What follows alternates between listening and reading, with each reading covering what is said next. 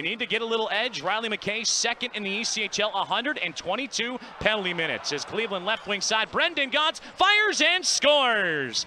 Cleveland with the quick break left wing, and Brendan Gaunce takes it down for his team leading a 10th goal on the season. And the Monsters take a 1 0 lead with 13.55 to go in period number one. Cleveland continuing to put on pressure on the Hogs in their defensive end.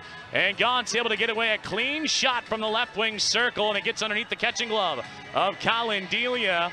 But Mitchell's going to track it down as it wraps around the near side boards. Comes out to the blue line for Regula across the ice. Wrist shot, they score! Dmitry Osipov grabs his first of the year, and we're tied up at one with 10.08 to go in the first period. First goal, first point for Dimitri, and he is all smiles, making his way back to the Ice Hog bench this season, converted from defense to forward. Had a couple of conversations. He says, I'm just waiting to get my chance and have that puck hit the back of the net. And yeah, his teammates putting him in a big old bear hug in front of the Ice Hog bench. Nice shot, Dimitri, from the left circle. And it's a brand new hockey game. Still getting some hugs. The whole bench standing. Pass across. Nobody there. Now Cleveland with some jump right hand side. Brendan Gaunce, backhander, they score. Brendan Gaunce able to find a target across the ice and get that one to uh, bounce on past Colin Delia. And this is going to be Tim Berni, or pardon me, no. Cole Fonstad jumping up in the rush. As we take a look at the replay, again, it all started with the pass by Nicolas Beaudin that just got in goal down to my right hand side. 16 saves on 18 shots. He was busy in period number one. Jet Greaves out there for Cleveland, seven of eight through 20 minutes. It's the Monsters shorthanded. Off the face-off, they score! What a start for the Monsters is Carson Meyer short-handed Goes right off the opening, a puck drop, and goes to the right circle, puts it on target, goes post and in on Colin Delia. And for Castle's active stick, Hardman has to get rid of it. Goes across the ice. He's got Regula on the top of the near circle. The Buzzdecker, one timer to Hardman. He scores!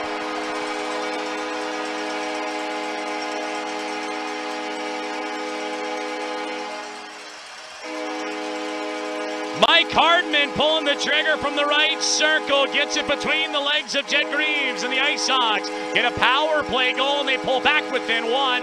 Regula to the middle of the ice for Buzzdecker, and that might have been partially blocked on its way and hit off a member of the Monsters.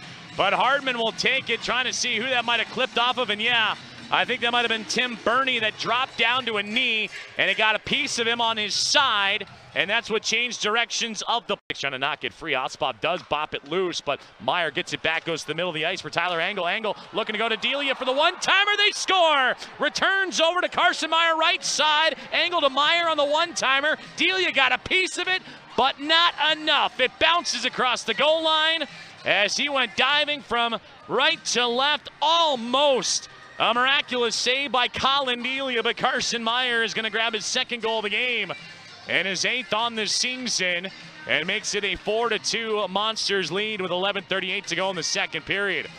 Watching that little miss, seven points. Stenlund, same output for him. In fact, Kevin Stenlund finding the back of the net on the five on three power play last night for the Monsters, and he's going to catch it off the face-off, fire and score! Right on cue, Kevin Stenlund off the draw. Works it to the middle and then just tees it up just on the inside of the left circle. A power play goal for the Monsters. And they take a 5 2 lead with 116 left in the second period. Quick face-off win, and they find Stenlund, who just moves to the middle, sizes up a shot, and goes low to the glove hand of Colin Delia. Him. He had a good one lined up though, but it just stayed back on the heel of his stick. Puts it out to the blue line for Beaudin. Wrist shot, they score! Nicolas Beaudin from the deep slot downtown. And the Hogs 30 seconds into the power play connect. And it's a 5-3 contest. I think that was deflected on its way as we can try and get a look on the replay. Regula, after that fan shot, recovers, puts it back on to Nicolas Beaudin. And I think it hit a fallen member of the Monsters just outside the crease late in the hockey game. Kalnick on to Alec Regula, looking for a lane. Nothing available. Hands it over to Kalnick, on to McLaughlin. Fires and scores!